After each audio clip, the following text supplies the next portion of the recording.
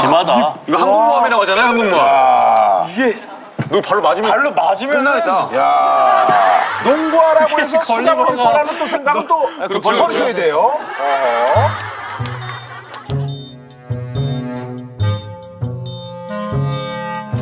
이거 충격적인데요. 이 충격적인데요. 이- 왜요?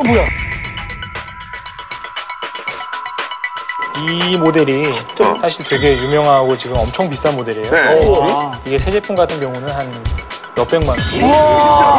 네, Air Yeezy 2라는 제품. 오. 이 신발 스타일이랄지 어, 또 제가 또 어디서 본것 같아요.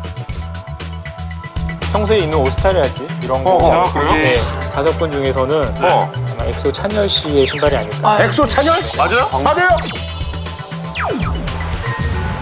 약 간 장, 서장훈 나는 광석이 건줄 알았어요. 야, 엑소 찬열이 신었다면 이제 더 비싸졌겠죠 이제. 아니 근데 이거 저 사이즈는 어떻게 되는 거야? 290 사이즈네요. 290. 네, 어, 많이 되게 크네. 뭐이 이 제품 뭐 일단 사이즈에서 뭐 거의 답이 나온 것 같은데 네.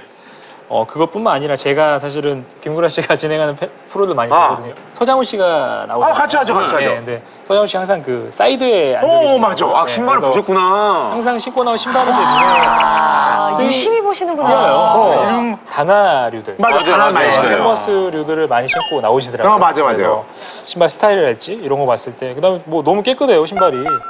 약간 좀 깔끔하죠? 네. 결벽증 있잖아요. 결벽증 있어요. 네, 이거는 뭐 100% 서장훈 씨의 신발이 아닐까. 서장훈 네, 씨. 네, 네.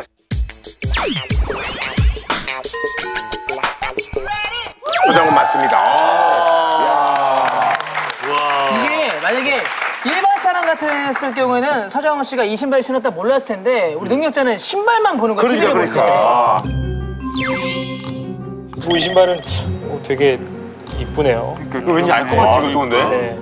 이게 국내 미밤의 제품이고 되게 알록달록 이쁜 어떤 이런 취향들이 저는 저 마음이신 정민아 씨 신발이 아닐까. 왜? 이렇게 이쁜데? 어 제가 이광수 씨 그 TV 나오는 모니터링도 했거든요. 근데 그분이 신는 신발 스타일이 있어요. 아하. 네, 그분은 좀 약간 트렌디하고 아하. 약간 매니아들이 좋아하는 그런 신발을 많이 그럼 저는 신더라고요. 트렌디하지 않아요. 아니요, 그건 아닙니다. 그건 아니고요. 아, 트렌드는 않네요. 근데 이걸 제가 봤을 때 직접 구매하지 않은 것 같고 와이프분이랄지 선물하신 걸로 제가 봤을 땐 그렇게 보여요. 네. 아하.